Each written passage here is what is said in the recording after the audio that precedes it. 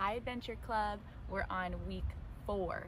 And so we have our verse from Genesis 2 7. Are you ready to do it with me? Okay. Then the Lord God formed the man of dust from the ground. He breathed into his nostrils the breath of life, and the man became a living creature. Good job.